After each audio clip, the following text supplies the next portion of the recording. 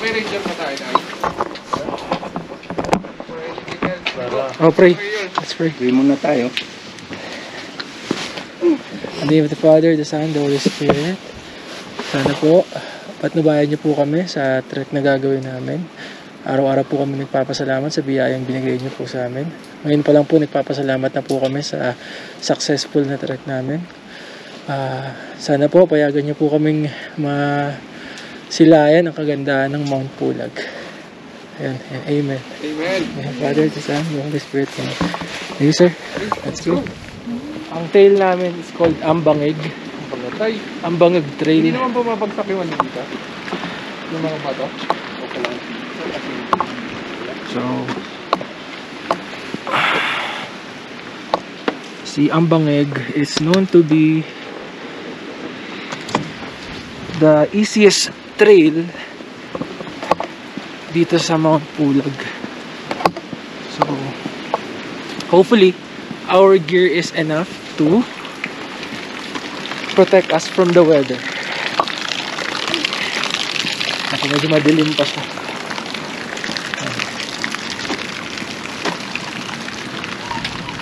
Alright. Good luck with us.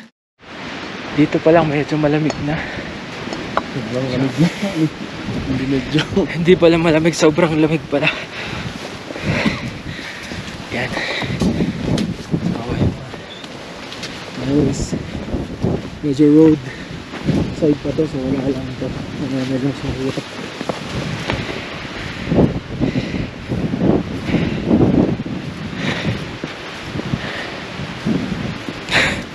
First na first time namin naakyat sa puno. Ay, sa puno to. sa bundok. Medyo hinihingal na ako agad ako.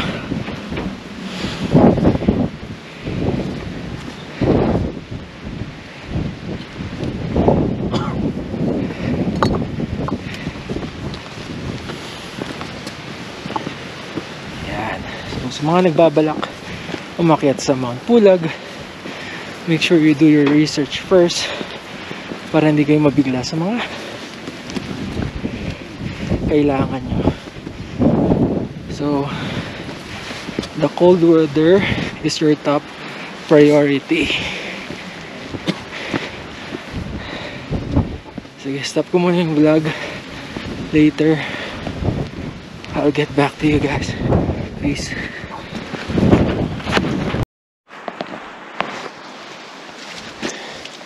Yan, so, wala na kami sa road. Ito na siguro yung start ng trekking.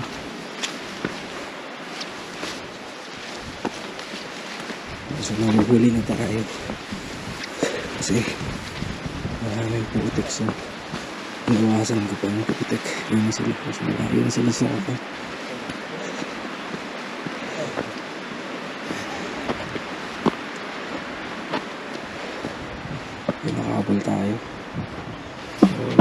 If notice, uh, lumipis na yung daan namin. Pero, it's just the start.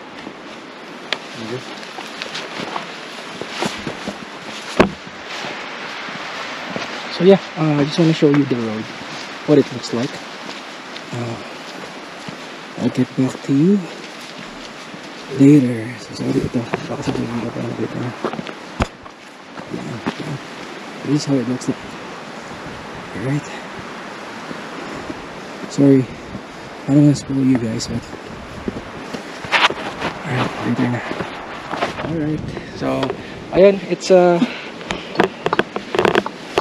ano oras na ba? So, 1.48 Dito na kami sa camp one. So, hopefully, tuloy-tuloy lang yung uh, trek namin. Walang problema. Uh, I'll get back to you later. Mag-lose weight na. Oo, lang. So, Mag-lose weight na ako. mm. Ito rin baka naman. Sakit. overweight eh. 30 kilos yata ang overweight. Oo. Talagang sasalawin mo yan. So, we rest for a bit to catch some air. We're still like 2 kilometers bago ma-reach yung Camp 2. And uh, I think it's just 2 a.m. in the morning. So, so far, so good. Ka lang? Again, the ano the top priority is yung weather. So medyo tricky siya kasi nung nasa baba kami, we thought na sobrang lamig. So habang naglalakad ka, napapawisan ka, tinatanggal na namin yung mga clothings namin like yung gloves, yung sinuot naming sombrero para makahinga. So yeah, as a first time hiker, uh, that's that's a new knowledge. so, so something to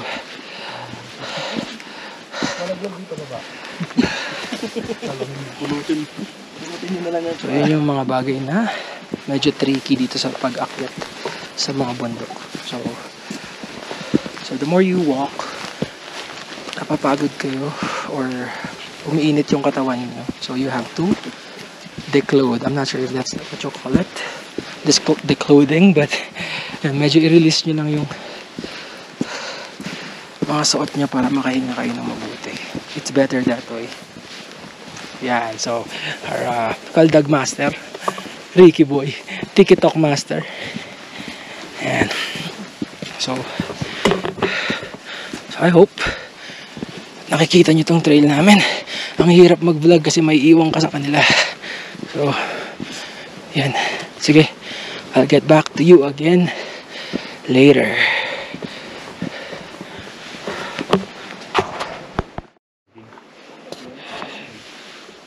Yan, so medyo nakakasilaw tong ating light. Big bike ba? May big bike ako. So, nag-rest muna kami. So, this is the place. And we have our campers. Kaya, campers rather, like hikers. Kasi umakit kami.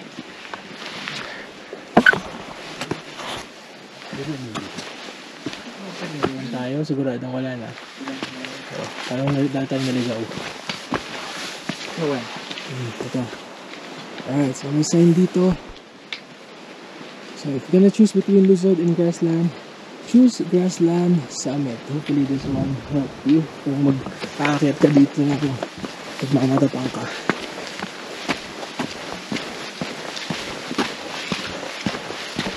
So, ang mahirap pag ikaw yung nasa pinakadulo is mawala yung kasunod mo tapos mawalan ka ng ilaw. So medyo, medyo nakakatakot yun.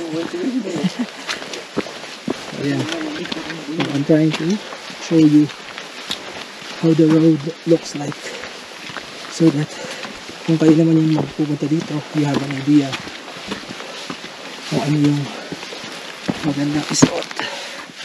Katulad nito, nakapuma. Oh, pumalag. Ano, mamaya ulit. Stairway to heaven, Brad. So, I guess before you reach Camp 2, may climax siya, may pataas. So, bago, kumikita ng dire-diretso pataas. So, I think we're 10 minutes behind. Pero, hopefully, yung distance, again, like I mentioned earlier, from Camp 3 to Camp 4, sana hindi na ganun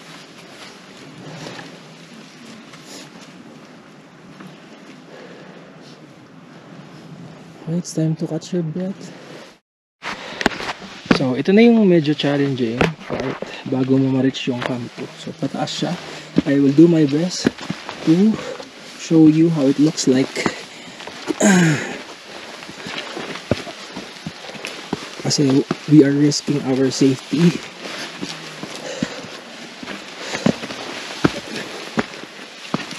We're trying to do this video capture.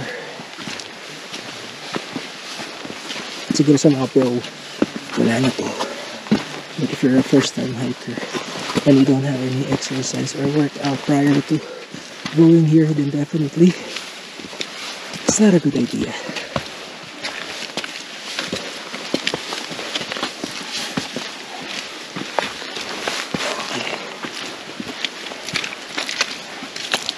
Tekpo, tekpo.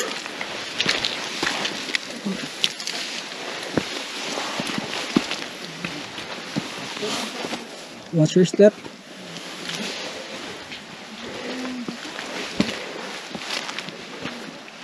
That's all.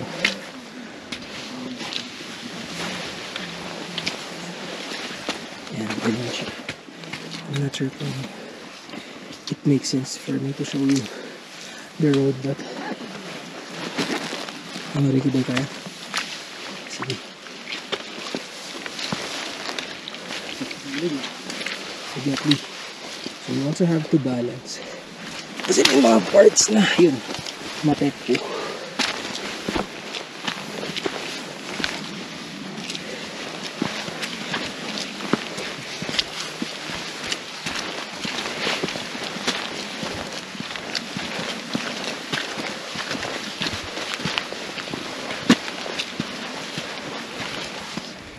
Alright, so ayun.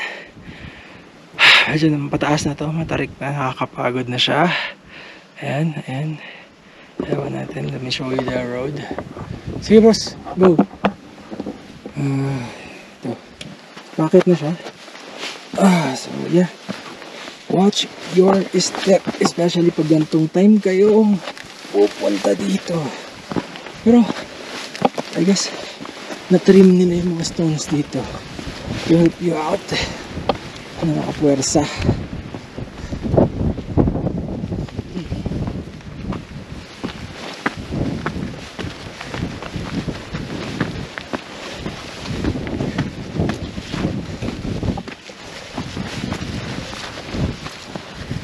Oops, butik.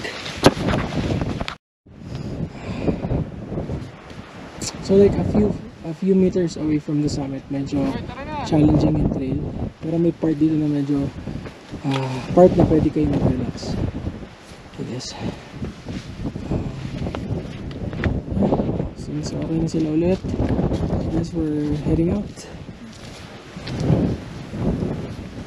Yes.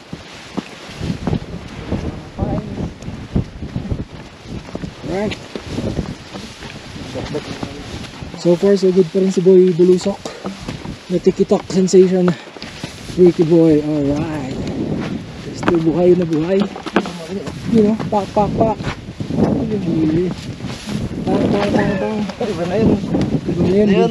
Kadiyat na yun, kadiyat, di nakaldag. Oops. So, Mount Pulag. Right.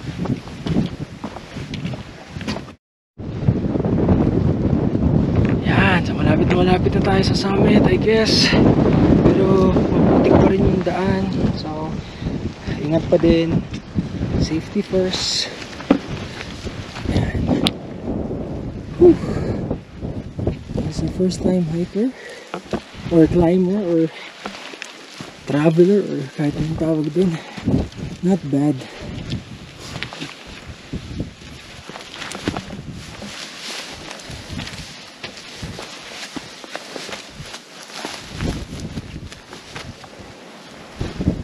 Okay, so din, eh, huwag ka lang magpapaiwan. Lagot ka. Medyo marami akong dala kong camera. Kaya medyo nahuhuli ako sa kanila. Ayan, sa pagkagat ng ilaw. GoPro. Okay. Small bamboos. There you go.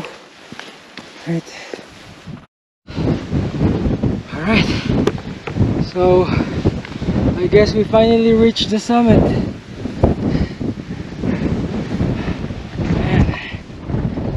Summit. So, nakaupo lang ako ngayon kasi medyo mahirap yung lang pataas. Ayan, ayan, ayan, ayan. The summit. So, I guess we're gonna witness one of the wonders of the world. Just gonna set up my camera para makita natin yung sunrise.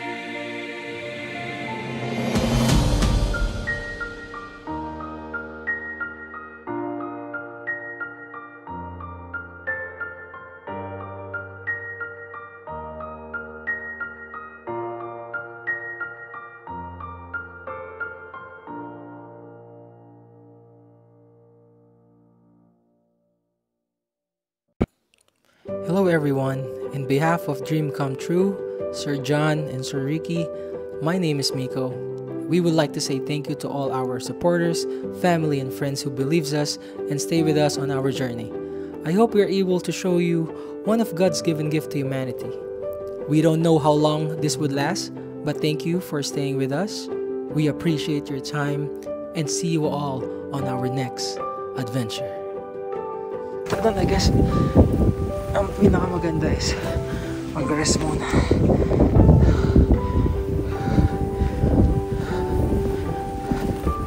So, Alright. Alright.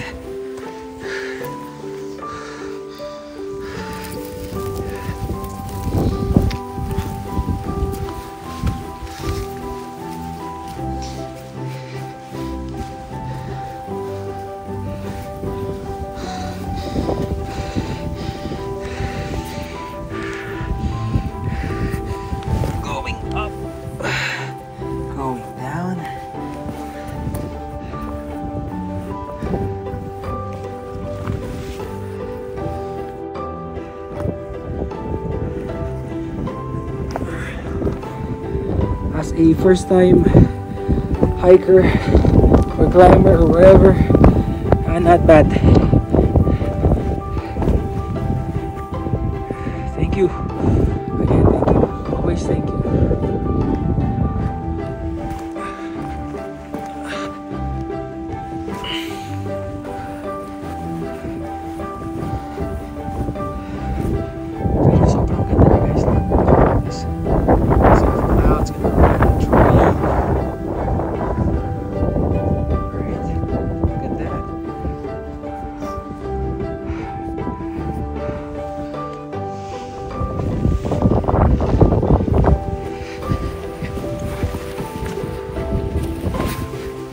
Ingat ah, ako madalas. Madalas na ako.